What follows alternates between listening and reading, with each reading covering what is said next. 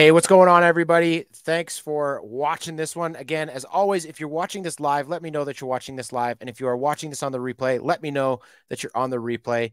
We had an awesome question um, inside of our private group in the VIP program about hey, how the heck do I optimize my funnels on mobile? When you start to design something inside the funnel builder or the website builder and it looks really really good when you're in desktop view sometimes you'll open it up in mobile and be like what the crap? There's spacing is all wrong and sections don't line up properly and things just look like an absolute mess. And so what i want to do in this video is show you guys how you can optimize your funnels and websites for mobile using a little bit of a hack that I use um, just in just in terms of breaking up sections. And so, JP, this one is for you um, and anyone else who is curious about how do I optimize my funnels and websites for mobile. So, with that being said, let's get into it. And again, as always, if you're watching live, let me know. Give us a like, give us a comment, help the algorithms just explode so that more people get help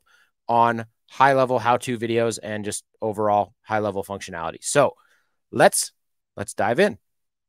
All right, we're going to add this over here. Now, this is a quick little sneak peek in something that may or may not be coming your way very, very soon, everybody. But we've got this website. This probably looks familiar to some of you. Um, now, when you look at this, it looks it looks really nice, right? Um, we're obviously still building a few things out, but this is kind of a basic layout.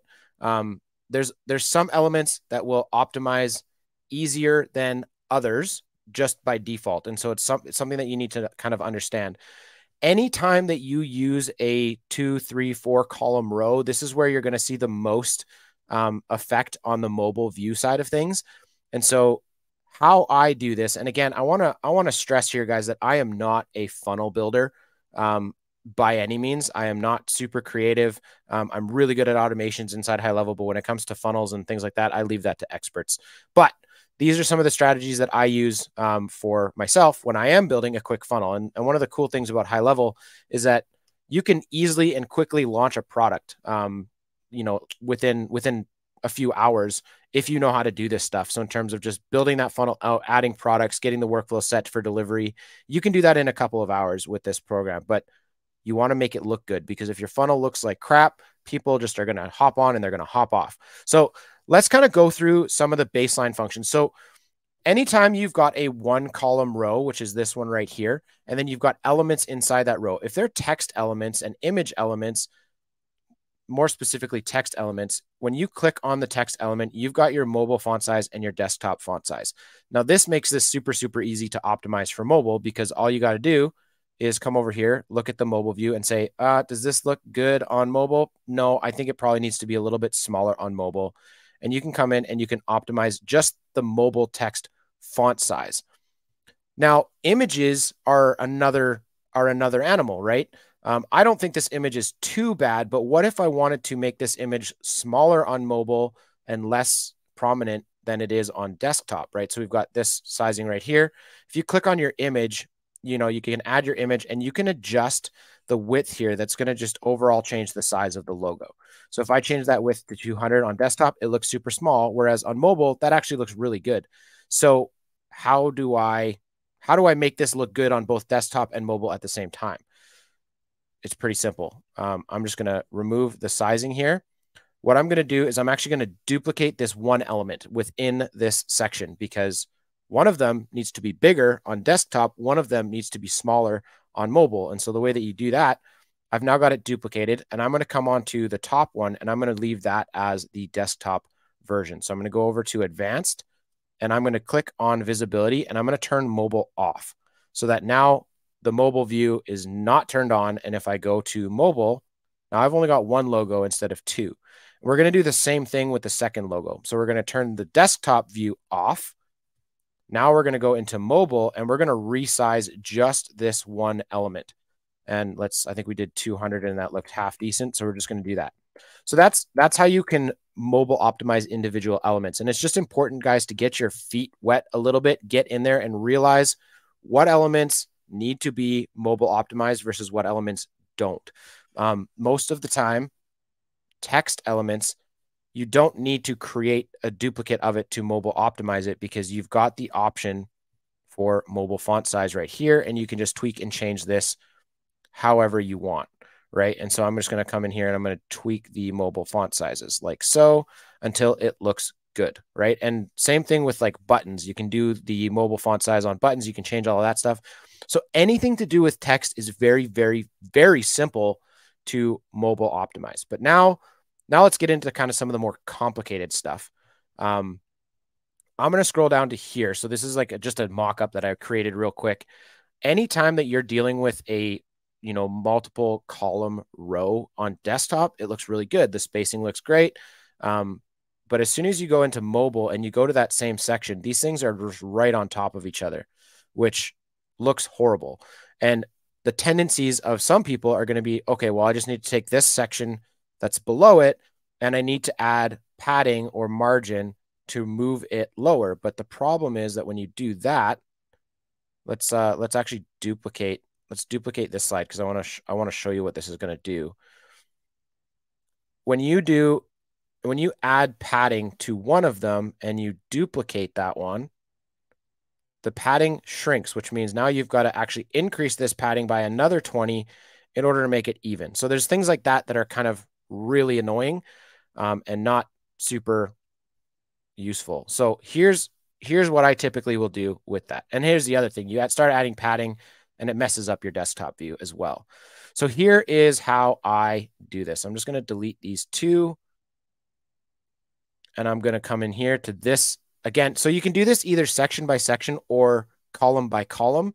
It doesn't really matter. But typically what I'll do is I'll just make an entire section for desktop and then I will duplicate that entire section and I'll go in and I will modify it for mobile. So let's just go and duplicate this whole section. Now this section I like for desktop, so we're going to leave that at desktop only. This section we're going to go and we're going to make it mobile only. So now this gives us the ability to go in and just tweak these two column rows and we're going to turn them into actually one column rows in mobile. So we're going to go into the mobile only view and now here's what we're going to do. We're actually going to delete this one altogether. And in fact, I'm going to delete all of these two column rows because they're kind of useless to me at the moment. Now I can come in here and I can duplicate that column and that's going to make your spacing look much better, much prettier. And then you can go ahead and modify whatever you've got to modify on here.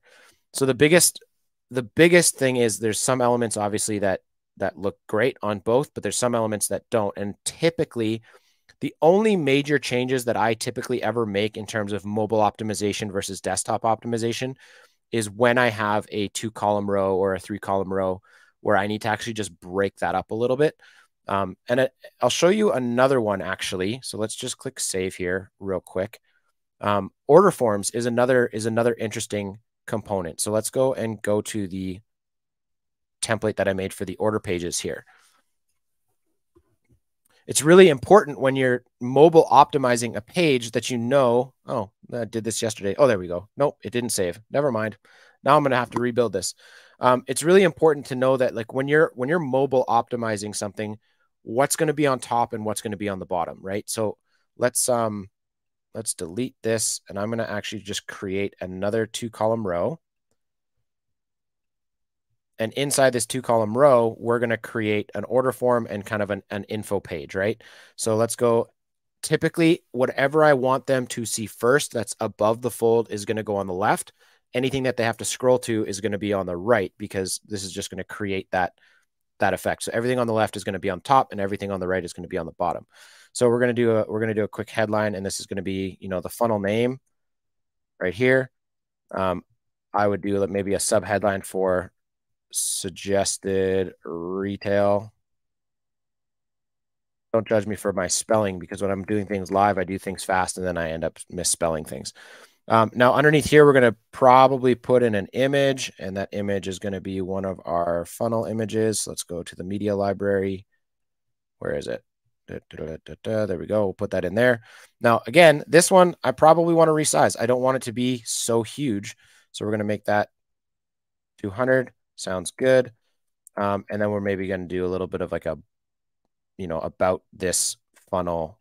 We'll do a little sub headline. And then we're going to do some bullet points. Um, so let's go find bullets. Can we do search? Yes, we can. I'm still getting used to the new layout. So here's some stuff, here's some stuff, whatever. Now on this side, we're going to go and we're going to add a one-step order form. And inside your one-step order form, typically when I'm selling things like this, I don't need to know everything about you. So what I'll actually do is I'll remove company name and I will remove shipping information so that it's just super simple name, email, phone number, and then you've got your order form here. So now let's go and see how this looks on the mobile view side of things. Already, it's not too bad. I think this the one things again, you're going to change the font sizes a little bit. Like this doesn't need to be so big on mobile, so we can change that. Um, and you can kind of edit all this stuff. But already, this looks pretty good. But what happens if I take this column and I move it up? Well, now, like I said before, this is just going to make that appear above the fold. Um, and another another thing that a lot of people miss, and I actually get this question a lot about sections and things like that, was this section really should be up at the top, right? So the funnel name should be up here. Everything should be a little bit higher up, and they can't figure out how to do this. When you click in a section and you scroll down to the bottom, you've got content spacing. And content spacing, if you move this center, it's going to keep everything center. If you move everything, you know, evenly, it's just going to stretch it out and make it look kind of silly. But if you want everything to line up on the top and look good, you're going to align everything left. And so when you're doing this inside different sections and you want everything to line up on the top, you're going to align it left because left is top, just like this column here is left, left is top. So whenever you're trying to make those things line up, there's a quick little hack for you is that you just change your content spacing to left and it's going to raise everything up to the top for you. So that is a really quick breakdown on you know kind of mobile optimizing your funnels and websites. And like I said, guys, I'm not I'm not an amazing funnel designer by any means, um, but these are just some quick tips and quick little hacks that I've realized. Anytime the most important piece is anytime that you've got more than a one column row, like a two column, three column, four column, you want to mobile optimize that section to be one column rows so that your columns just line up nice and there's even spacing and they're not trying to, you know, they're not trying to come on top of each other. Um, so that's the biggest piece of advice that I can give is anytime that you've got that two to three column row or more that you duplicate that section, make your desktop one desktop only, and then go in and edit your, your mobile version um, in order to make everything line up. So again, not a funnel designer, but I hope that was helpful and I hope that gives you guys some ideas. My recommendation, as always, is to play around with this so that you understand what what different elements do inside the funnel builder on both desktop and mobile, and which elements you're going to need to duplicate, resize, um, and make desktop or mobile only. Um, for the most part, I would say there's probably about 30% of the elements inside the funnel builder and the website builder need to be modified for mobile. The rest of them are fairly simply modified for desktop and mobile already in that element section. So again, I hope that was helpful. As always, if you have any questions, let me know in the comments, and I'm always happy to help wherever I can. Um, and yeah, let's just keep on growing, keep on building, and keep on learning inside the platform because this is the single best platform in the world. And with that, we'll see you on the next one. Take care.